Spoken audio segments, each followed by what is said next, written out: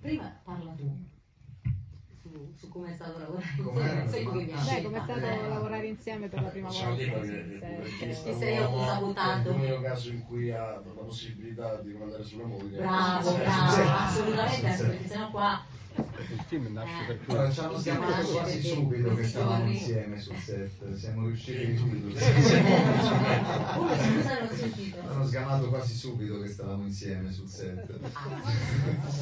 Ma come, guarda, sai, all'inizio era mm, strano, mi faceva molto strano, nonostante insomma, e avevamo addirittura deciso di prendere quando giravamo fuori Roma Di separarci delle camere film, diverse, nel senso tu la tua stanza, Sì, sì. io la mia stanza, siamo totalmente professionali, che arriviamo sul set, ognuno.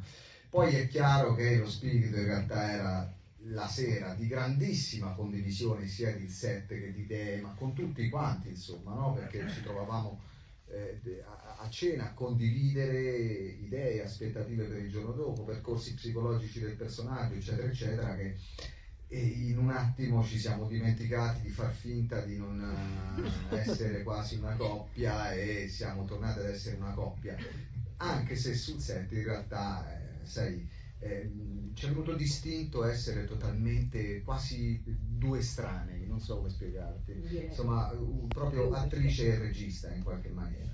Però è diventato molto spontaneo, è stato anche molto bello, sai, l'ho conosciuta sotto un ulteriore punto di vista.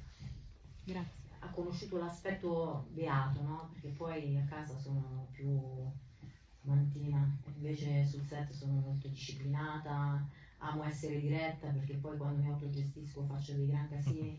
E quindi lui secondo me ha amato molto questo dominare in questo senso. Si può dire no? Perché io ormai Si può abbiamo dire. rispettato i ruoli si può dire oppure Si può dire. c'è il mandato di no